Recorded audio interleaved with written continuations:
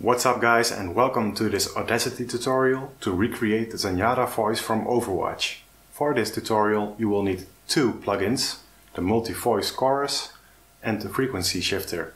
You can download these in the description below. Okay, so we are in Audacity. I have loaded my voice. The first thing you have to do is go to Analyze, Add and Remove Plugins.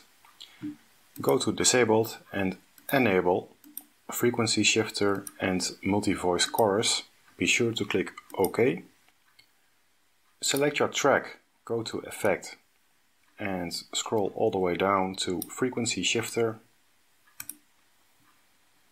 Set your wave to SH, set the rate to about 3 Hz. Frequency range should be 50. Frequency sliders should be all the way to the left your mix has to be set to all the way wet. Then click apply and close. Next go to effect and go to multi-voice chorus. Set your speed to 1, depth to 1, voice to 2 and mix to 10. Click OK. And those two effects should be the only effects you need to recreate the Zenyatta voice. Here's a comparison.